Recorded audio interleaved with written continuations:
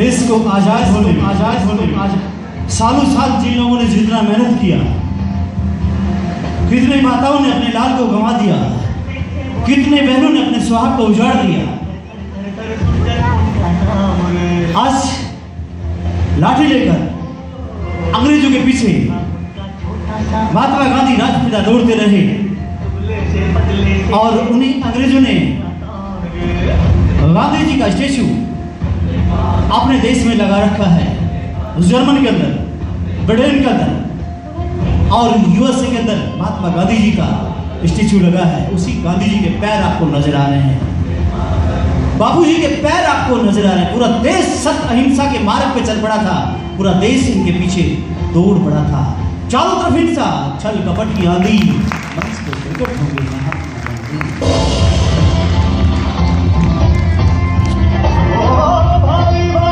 और इसी के साथ आज के जादोत्सव के समाप्त किया जाता है। सभी को जय हिंद, जय भारत।